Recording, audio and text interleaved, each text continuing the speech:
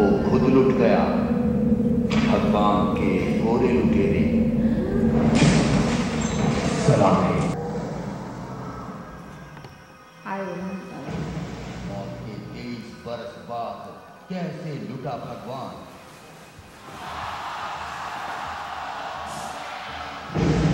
इसने गायब कर दिया भगवान का खजाना।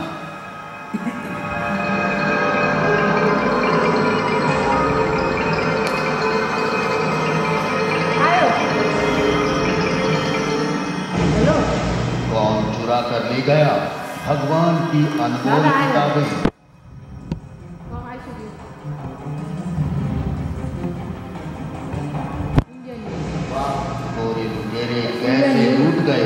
भगवान के तीन सौ करोड़।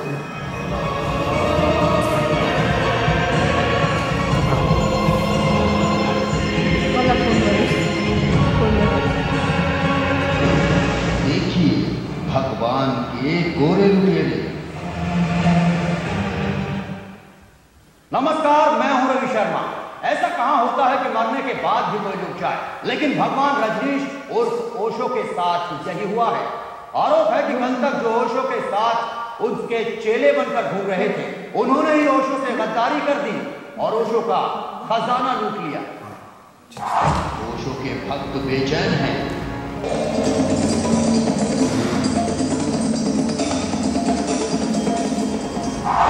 में मन नहीं लग रहा।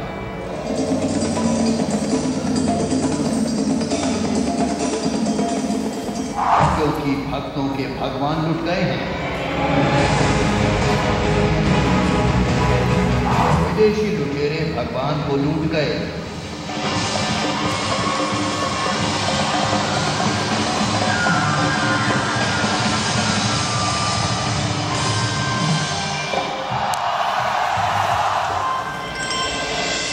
भगवान रजनीश और ओशो के दुनिया भर में फैले लाखों भक्त बेहद बेचैन हैं।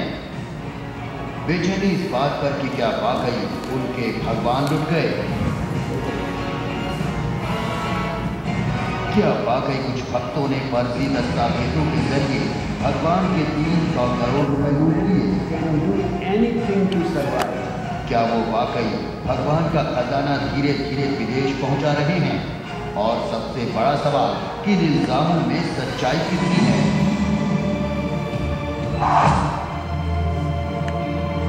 पुणे स्थित ओशो आश्रम के ट्रस्टियों ने अपनी खुद एक निजी कंपनी बनाकर, ट्रस्ट की करोड़ों रुपए की संपत्ति अपनी निजी कंपनियों में ट्रांसफ़र कर दी है। अगर योगेश ठक्कर नाम के शख्स की बातों पर यकीन करें तो भगवान लुट चुके हैं। ओशो को उन्हीं के कुछ भक्तों ने लूट लिया है।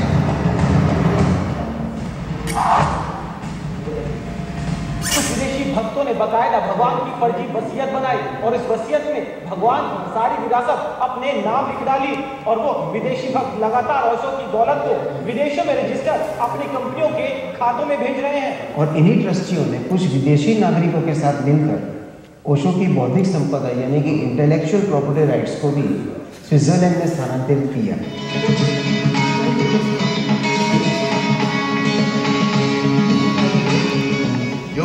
ओशो के भक्त हैं और कई दशकों से वो ओशो से जुड़े रहे हैं, लेकिन उनके इल्ज़ाम बेहद सनसनीखेज हैं। ओशो के लाखों भक्त योगेश के इल्ज़ाम लगाने के बाद से ही सकते में हैं, लेकिन योगेश के इल्ज़ाम अब एफ़ में तब्दील होकर अदालत की चौखट तक पहुँच चुके हैं। योगेश का आरोप है कि ओशो के तीन शिष्यों, माइकल ओबिन और स्वामी आनंद जयेश जॉन एंड्रू उर्फ़ स्वामी प्रेम अमृतो और फिलिप टोलकस उर्फ़ स्वामी प्रेम मिले ने मिलकर ओशो की जायदाद पर कब्जा करने के लिए बाकायदा ओशो की जाली वसीयत बनाई और ओशो के दस्तखत कर सब कुछ अपने नाम कर डाला। ये देखिए, यही है ओशो की वो वसीयत, जिसमें ओशो अपना सब कुछ अपने तीन विदेशी भक्तों के नाम कर गए। ये देखिए ये हैं, ओशो के दस्तखत लेकिन क्यों? ओशो ने ऐसा क्यों किया? इसका कोई जवाब मौजूद नहीं है।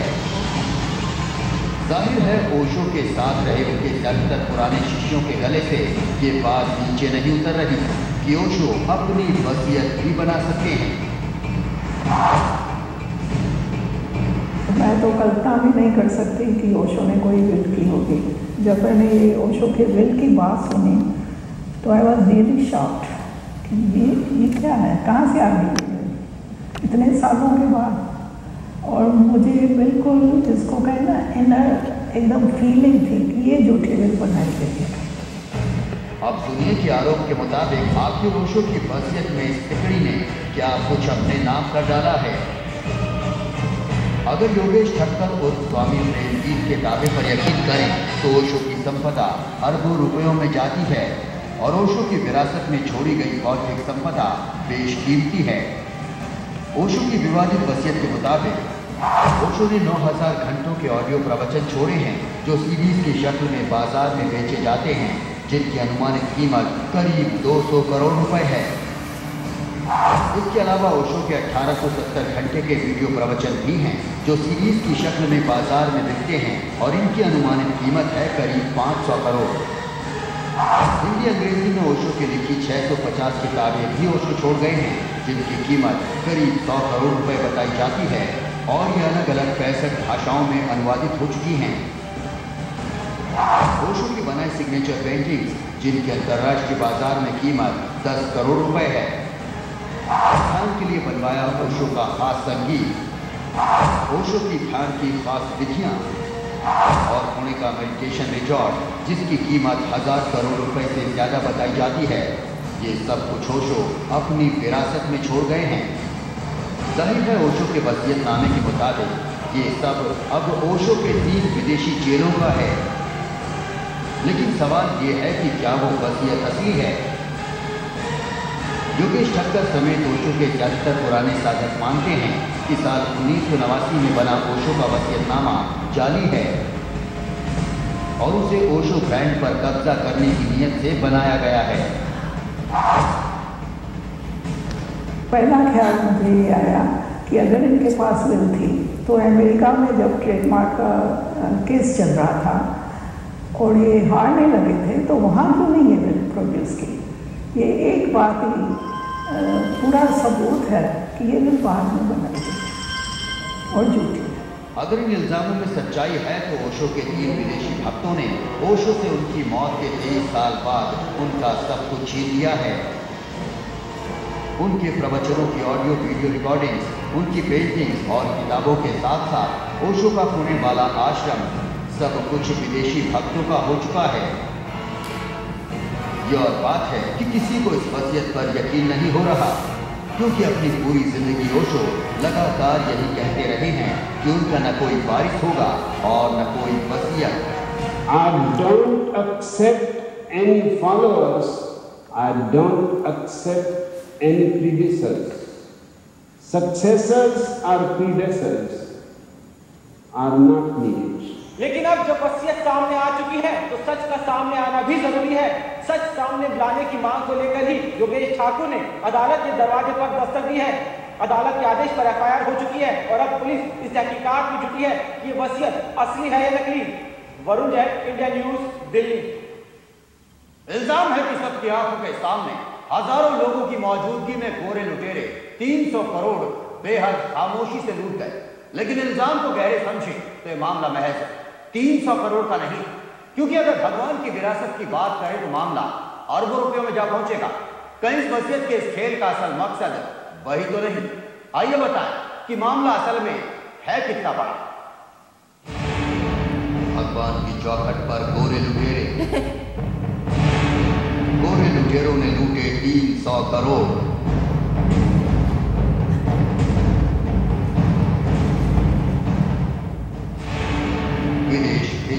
भगवान की दौलत।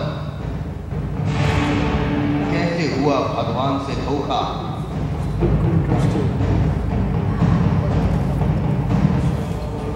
पुणे के ओशो फ्रेंड्स फाउंडेशन के ट्रस्टियों का इल्ज़ाम है कि इन्हीं तीन गोरों ने ओशो की फर्जी वसीयत बनाई। ताकि दुनिया भर में बिखरी पड़ी ओशो की अरबों की विरासत पर कब्जा किया जा सके।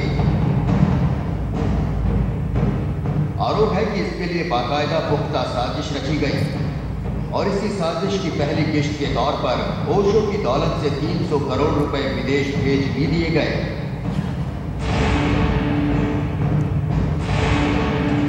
आरोप तो यहाँ तक है कि इन्हीं तीनों ने मिलकर साजिश के तहत ओशो के पूरे साम्राज्य को कब्जाने की साजिश रची थी। दरअसल, ओशो के करीब एक सौ बहत्तर देशों में भक्त हैं और तमाम मुल्कों में ओशो की ट्रस्ट बनी हुई हैं। ये सभी ट्रस्ट और संस्थाएँ ओशो की ऑडियो वीडियो प्रवचन के साथ साथ ओशो की ध्यान विधियों का इस्तेमाल भी करते हैं।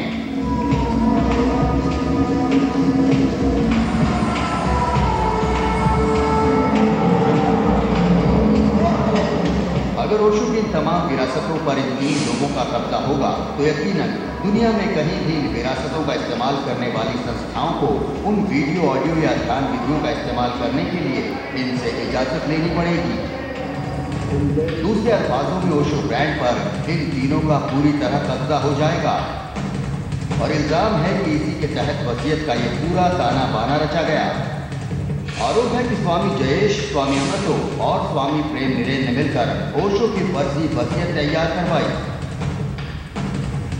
आरोप है कि साजिश के तहत पहले फर्जी वसीयतनामे को स्पेन की अदालत में पेश किया गया, जहाँ पर ओशो के ट्रेडमार्क को लेकर केस चल रहा है। आरोप है कि तीनों का इरादा जाली वसीयत स्पेन की कोर्ट में पेश कर ओशो के ट्रेडमार्क हासिल करने का था। लेकिन उससे पहले ही पुणे के ओशो फ्रेंड्स फाउंडेशन को इसकी भनक लग गई। जिस वसीयत को पुणे में ओशो फ्रेंड्स फाउंडेशन के ट्रस्टी फर्जी बता रहे हैं, उस वसीयत में ओशो फाउंडेशन इंटरनेशनल के उपाध्यक्ष माइकल ओब्रायन और स्वामी जयेश को वसीयत का एग्जीक्यूटर बनाया गया। जबकि जॉन एंड्रयूज और स्वामी अमृतो और फिलिप उर्फ़ स्वामी प्रेम निरेन को वसीयत का गवाह बनाया गया है। ओशो की मौत 19 जनवरी 1990 में हुई थी, जबकि विवादित वसीयत कहती है कि उस पर ओशो ने दस्तखत 16 जून उन्नीस को किए थे और वसीयत को न्यू संन्यास इंटरनेशनल फाउंडेशन के नाम पर दिखाया गया है। यही वजह है कि ओशो फ्रेंड फाउंडेशन के ट्रस्टी इसके फर्जी वसीयत होने का दावा कर रहे हैं। ये अचानक बिल का प्रोड्यूस करना तेईस साल बाद, ये अपने आप में कुछ कहती है। और मेरे हिसाब से तो ये कहती है कि भाई, ये फ्रॉड है। ये नहीं हो सकता। ओशो की फर्जी वसीयत और 300 करोड़ की लूट के मामले में ओशो फ्रेंड्स फाउंडेशन ने पुणे की अदालत में केस दाखिल किया हुआ है। और मांग की गई है कि ओशो की दौलत को विदेश जाने से रोका जाए। आगे बताएँगे कहाँ गायब हो गई ओशो की बेशकीमती किताबें। और हीरे जड़ी घड़ियाँ देखते रहिए इंडिया न्यूज़। मनोज हुटलेस के साथ गौरव पांडे, इंडिया न्यूज़। हीरे जड़ी घड़ियाँ, टोपियाँ और चश्मे। आखिर ओशो का ये सब माल गया का? बताएँगे बेटे उस पर। आप देखते रहिए। साल उन्नीस सौ सत्तासी। ये वो साल था जब अमेरिका ने आशा और माफ़ कीजिएगा, ओशो के आश्रम को तबाह किया और उनको भारत डिपोर्ट कर दिया। उस वक्त कहते हैं उनके पास में हीरे जड़ी खड़ियाँ और काफ़ी बेशकीमती ड्रेसेस लेकिन जब वो इंडिया, सब जानते हैं कि वो सारा सामान भी उनके साथ आया। आज वो सामान का कोई नहीं जानता करोड़ों का वो खजाना आखिर गया का किसी को नहीं मालूम। कहाँ गई? ओशो की रक्त चढ़ी घड़ियाँ। कहाँ गई ओशो की हीरे चढ़ी टोपियाँ? कहाँ गया ओशो के वो हीरे चढ़े चश्मे? कहाँ गया ओशो का महँगी ड्रेस का खजाना? ओशो, शायद दुनिया के अकेले ऐसे आध्यात्मिक गुरु नहीं हैं। जिन्हें भक्तों ने पहनने के लिए महँगे से महँगे कपड़े, महँगी सी महँगी घड़ियाँ और गाड़ी के तोहफे पेश किए और ओशो ने उन्हें पहनने से कभी इनकार नहीं किया। वजह ये कि ओशो की नज़र में हीरा और पत्थर दोनों एक ही थे। लेकिन आरोप है कि ओशो के कुछ भक्तों के लिए हीरे हीरे थे और पत्थर पत्थर और उन्हीं भक्तों ने ओशो के उस खजाने को साफ़ कर डाला। जी हाँ, आज उनका कोई नामो निशान तक नहीं है।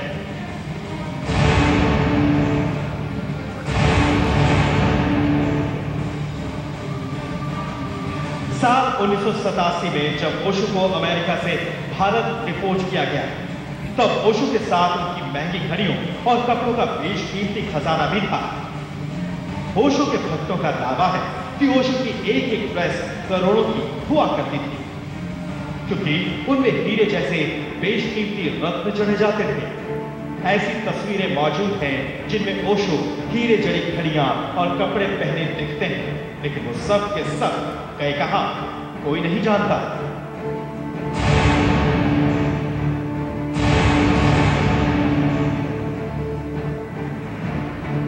टोपी ओशो की खास वेशभूषा का अहम हिस्सा हुआ करती थी। वैसे तो ओशो की हर चीज़ ही बेशकीमती बताई जाती है। लेकिन जानकार बताते हैं कि उनकी खास टोपियों में हीरे जड़े रहते थे।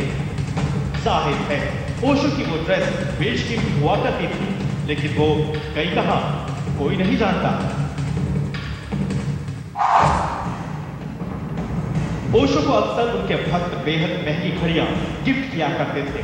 कहते हैं, ओशो के हाथ में जो घड़ियाँ देखी जाती थी, वो दुनिया में अपनी तरह की अनूठी घड़ियाँ हुआ करती थी।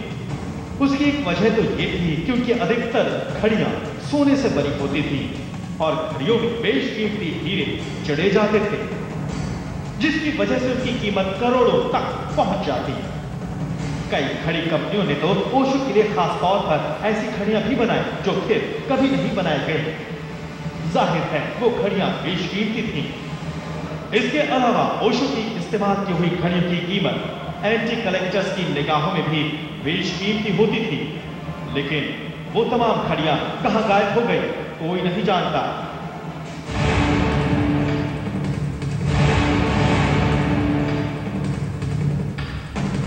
अपने प्रवचनों में ओशो बेशकीमती चश्मे पहने भी दिखाई देते थे। कहा जाता है कि ओशो के चश्मों की कीमत भी लाखों में हुआ करती थी। क्योंकि इन चश्मों के फ्रेम में अक्सर हीरे जड़े दिखते थे। लेकिन वो चश्मे अब कहाँ हैं, ये भी कोई नहीं जानता। ओशो की मौत के बाद वो बेशकीमती घड़ियाँ, वो रत्न जड़ित टोपी और लाखों की कीमत के वो चश्मे कहाँ चले गए, कोई नहीं जानता। ओशो को करीब से जानने वाले लोग बताते हैं कि वो तमाम बेशकीमती सामान रातों रात अचानक गायब हो गए थे। आखिर कौन दे गया भगवान की विरासत? किसने लूट ली ओशो की धरोहर? जुड़े लोगों का आरोप है कि ओशो के ही कुछ भक्तों ने ओशो का वो सारा खजाना गायब कर डाला। ओशो की वो चीज़ें बेशकीमती तो थी ही, लेकिन अंतर्राष्ट्रीय बाज़ार में उनकी कीमत इसलिए भी ज़्यादा थी क्योंकि कभी उनका इस्तेमाल भगवान रजनीश ने किया था। Varun Jain, India news, Delhi. साफ़ है कि बहस इस बात पर तो हो सकती है कि ओशो को लूटा किसने। मगर ये तय कि ओशो लूटे तो गए।